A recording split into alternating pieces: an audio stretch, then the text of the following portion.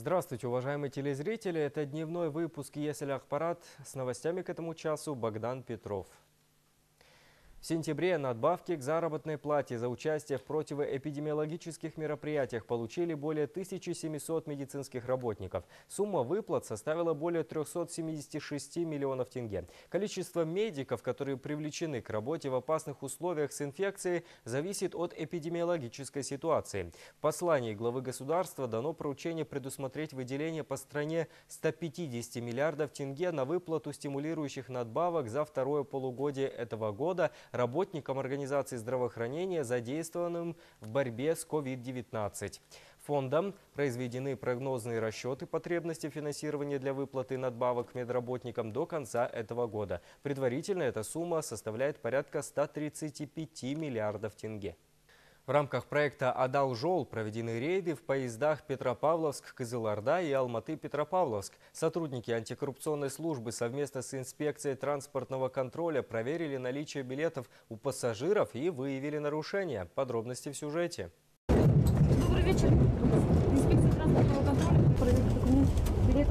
Целью такой проверки является искоренение бытовой коррупции в сфере пассажирских перевозок на железной дороге. Рейд проводился антикоррупционную службу по северо-казахстанской области совместно с сотрудниками инспекции транспортного контроля. В нашем пассажирском поезде Петропавловск-Кызылорда провели проверку. Мы благополучно выполняем свои обязанности. Никаких противозаконных действий нет. Все соответствует санитарным нормам. В ходе мониторинга выявлено одно нарушение правил перевозок багажа и грузов. На проводника поезда Алматы-Петропавловск составлен административный материал. К слову, за 2020 год проверено 23 пассажирских поезда и возбуждено 13 административных материалов. Айман Кузимбаева, Раимбек Бекужаев, служба новостей. Возвращение учителя. Под таким названием состоялась долгожданная премьера спектакля в Казахском музыкально-драматическом театре имени Сабита Муканова. Посвящена она 1150-летнему юбилею ученого-философа Абу Насара Аль-Фараби. Подробности далее.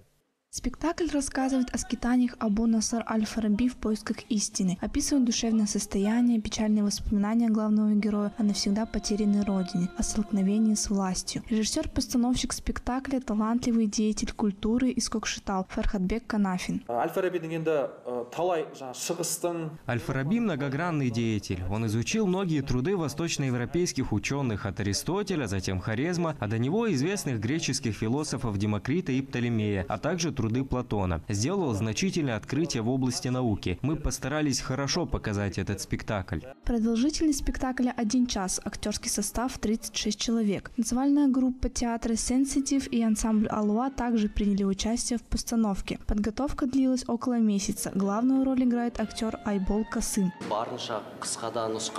Ә, айтар ойды бір жүйеге салып ә, пьеса қылып Готовиться к любой роли всегда очень тяжело. Каждая постановка сложна и интересна по-своему. Мы всегда отталкиваемся от реакции зрителя. Если им нравится, то значит у нас все хорошо получилось. Повторный показ постановки состоится 23 октября. На очереди следующая премьера спектакля о великом казахском поэте, мыслителе Абае. Мадина Норкина, Айман Кузимбаева, Альдин Нуржан, служба новостей.